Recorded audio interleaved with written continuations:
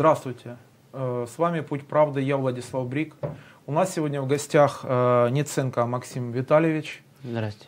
Здравствуй. Это э, парень, который был взят в плен несовершеннолетним спецслужбой Украины и который по обмену оказался в городе Донецке. Недавно Human Rights Watch, это правозащитная организация, распространила доклад о том, что происходит на Украине в СБУ, о том, что происходит на Украине в тюрьмах, о нарушениях права человека, о нарушениях, происходящих во время суда, до судебном следствии. Полный расклад по всем украинским правонарушениям. А, Сегодня мы как раз вот в этой теме пообщаемся с Максимом. Максим, насколько я помню, э, был взят э, СБУ с устроенной провокацией, и было на этот момент тебе 16 лет. 16 лет. То есть, э, если я не ошибаюсь, э, товарищ вот этот э, сознательный украинец, который тебя подставил, он был нештатным каким-то, наверное, сотрудником. СБУ. Да, да, да. Почему-то он был с грузинской фамилией. Его звали Захар Сангулашвили. Он представлялся по-другому, я позже узнал, как его на самом деле зовут. И на суде он был в маске. Да, его приводили как легендированная личность в камуфляже, в маске, чтобы якобы его никто не узнал. А, Получается, ты с ним не был знаком до происходящих событий. Можно сказать, что да. Он тебя нашел в соцсети. Ну, через знакомого мне знакомый сказал, что со мной хочет поговорить человек. Я с ним списался, начал встречаться. Он начал предлагать э, разные активные действия, там, мы на- да- начали дальше встречаться. После мы договорились, там, мост или что-то, он предложил. Принес тут взрывчатку, нашел э, таксиста. Договорились мы на определенную дату 18 марта. 15 года. Да, 15 года. Он нашел таксиста, мы поехали на этот э, железнодорожный мост, заложили это все. Через 100 метров нас приняли СБУ. Они тебя каким-то образом э, шантажировали? Ведь ты ж не замечен был до этого в таких действиях. Нет, нет. Ранее несудимость, все такое. Слышал, что в Изюме там было несколько таких э, сюжетов, несколько таких провокаций. Да, по-моему, Сергей Дегтярев, э, ему срока дали 10 лет, сколько я помню. Точно такая была Точно ситуация? такая же, да, только чуть-чуть по-другому. То есть э, СБУ работает э, на публику, на информационную войну, получается, э, вылавливает людей и потом э, с помощью провокаций раскручивает вот, Да. вот эту вот Ну, борьбу с терроризмом. Чисто звездочки зарабатывать, это у них практикуется очень хорошо. Они тебе что-нибудь говорили вот по этому поводу, когда ты был в СБУ? Конечно, говорили. То есть они, ну, они фактически признавали, что это провокация, Да. ведь это муляж был Это и заложен. в документах написано, след, э, блин, как по-русски перевести по-украински. Сличо, блин. Следственный эксперимент. Да, да, да. Мгм. Ну, написано муляж, все такое, подготовили СБУ, этот внештатный их агент. Э, в документах написано, что по ходатайству следователя изменены его анкетные данные на блин, Игорь, Игорь Иванов или Иван Петров. Улицу поменяли, где он живет, ну, все такое. А когда э, тебя э, арестовали, э, какие к тебе применяли меры воздействия? Ну, сначала возле моста там били руками, ногами. То есть они били сразу, а ничего не расспрашивая? Ну да. Не предъявляя никаких обвинений, сразу Ну, начинали... Обвинения предъявляли уже в здании СБУ города Изюма. Э, Там самое больше били в Изюме, а потом повезли в Харьков э, к следователю, который меня задерживал. Там я пробыл до вечера, меня допросили э, без адвоката, без родителей. Потому Родители вообще ни, ни на каком этапе не приглашали? не- родители были, но сначала меня допросили, потом через определенное время пришел адвокат, и через час, э, через час, через два где-то пришли, приехали только родители. И потом меня должны были вечером повезти на больницу, проверить там побои и все такое. Мы заехали на больницу вместе с оперативниками СБУшными. Э, И доктор отказался меня досматривать, потому что я несовершеннолетний. Мгм. И они развернулись и поехали сразу в ВВС. Я там пробыл два дня. Э, Мне дали санкции на арест и я поехал в СИЗО. Что они хотели? Они тебя выбивали, выбивали признательное показание сразу, да? Да.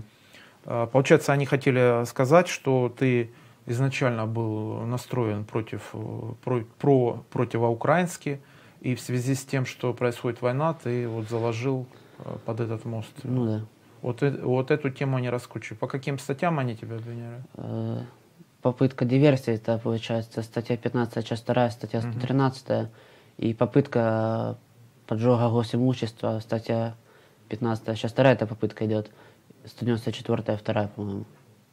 Ну, ты до всех этих событий, ты в какой-то организации состоял? Нет, или нет, ты нет. высказывал какие-то... Э, то есть они просто... э, Ну, как на странице, бы- на странице соцсети, да? были э, Мгм. репосты и все остальное. Только вот из-за репостов, из-за тех э, противовоенных, да? Да. Хорошо. Что у тебя со здоровьем сейчас после всего происходящего? Там сейчас по больницам, там к зубному, туда-сюда, уходит много денег. э, Там э, адвокат э, на суде подавал ходатайство по поводу моего обследования здоровья в судебно-медицинской экспертизе. Причем было отказано и направлено это обследование на территории СИЗО, где, соответственно, ничего не проводилось. Второй раз отправили, третий раз отправили, и никаких резу- результатов не дало. Это адвокат государственный? Э, Сначала был государственный, потом был платный. Платный адвокат. Да. И э, тебя, вот, э, я хочу понять, э, решение суда какое-то было вообще по тебе? Нет, я просудился 2,9, э, только разбирали дело. То есть тебя Вот меня- поменяли, меня, у меня- тебя... меня забирали, у меня еще один, был один свидетель, э, который недопрошенный. Мгм. Еще видео, аудио смотрели, документов еще куча. То есть тебя на обмен подали, у тебя фактически дело судебное не закрыто получается? Да, да, да. Э, Или закрыто? Нет, не закрыто. У меня, я сейчас, наверное, уже в розыске на территории Украины. То есть они обратно тебя подали, скорее всего, В вот розыск. я к чему Ну, я, наверное, думаю, еще одну статью добавили, или 263, или сепаратизм, или терроризм, еще третья статья, наверное, есть. У тебя же, э, получается, ты совершеннолетний Да. сейчас. Они ко мне приходили еще в 2016 году, в декабре, э, это был на ИВСе, э, предлагали по поводу обмена. Я написал, что согласен, все такое. Говорят, до Нового года до Рождества жди, поедешь. Ну, Это, говорю. получается, они тебя фактически не могли ничего доказать, и поэтому они э, вот, тебе предложили обмен, я так понимаю, да? Я же еще в списках был, наверное. Вот этот человек, который э, мы э, тоже на слуху там был, да, Дегтярев, э, он же не обменен, он просто, ему дали 10 лет и все, да? Ну, вроде бы. Да, я его давно не видел уже. Так пересекался с ним, э, когда ездили на суды, все. Мгм.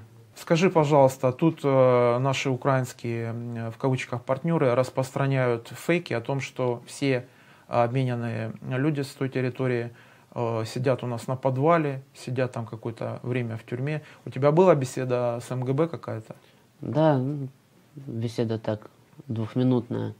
Э, Почему арестовали, при каких обстоятельствах, били, не били. Ну, в общем, больше ничего. Проводили обследование, кого надо, лечили, кому надо, делали операцию. У тебя проведено обследование? Да, у меня проведено обследование, ну, у меня все нормально. Не то, что нормально, болезни какие-то есть, но Сейчас ты где живешь? Э, сейчас Не на ребята... подвале?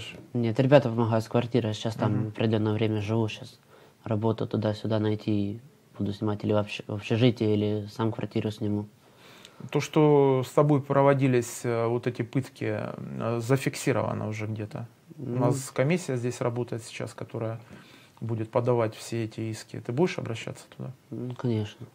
Ну, пытки э, не были не сняты ни побои, ничего. Писали мы с государственным адвокатом заявление в Генеральную прокуратуру, э, и она была отклонена. А эти бумаги сохранились вообще? Ну, наверное же, да, я давно их не видел. Можно, наверное, все-таки истребовать, я так думаю, да? Ну, думаю, регистрируется, С той- с той стороны. регистрируется подача заявления, если она была Да. отклонена. Ну, должно быть зарегистрировано. Ну, если запрос, наверное, дать, то может что-то ответят. А, Получается, ты и школу не закончил Нет, из-за этого, да? Тебя Нет. взяли в марте, ты Нет, должен был... я вз- Это последний год у тебя, Да, да? два месяца оставалось. Ты планируешь доучиться? Да, конечно. И что дальше? Доучиться потом, э, лето я погуляю, и потом, наверное, физинститут. Будешь поступать Да, здесь, да, да, да. Как тебе в Донецке? Как э, город для тебя? Классно вообще. Заскучился, здесь раньше жил родной город и мой. Ну, Ты жил в Донецке, Да, да, да. Потом в седьмом-восьмом году переехали в Изюм. Ты планируешь э, учиться, жить и работать э, здесь или как ты? Ближайшие лет 5-6 точно здесь. Мгм. Будем надеяться, что у тебя все будет хорошо. Подавай документы, все, что нужно. Я думаю, что власти Донецкой Народной Республики помогут тебе. Спасибо. Спасибо за беседу. С вами была программа «Путь правды». Я Владислав Брик и наш гость Неценко Максим. Спасибо, Максим. Спасибо. До свидания. До свидания. Не переключайтесь.